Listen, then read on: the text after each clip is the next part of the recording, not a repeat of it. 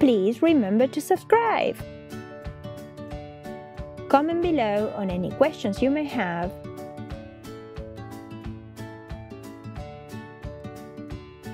And please remember to subscribe.